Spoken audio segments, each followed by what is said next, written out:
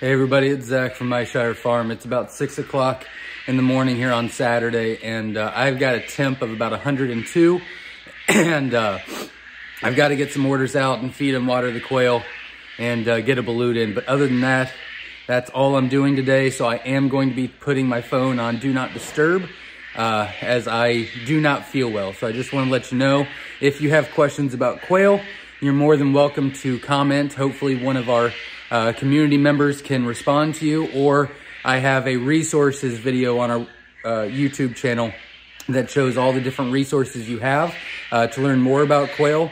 Uh, such as Facebook and things like that. So you can check that out as well. And uh, I need to get better. Uh, so I will be MIA for a little bit and then we will reevaluate tomorrow. So thank you and have a great day.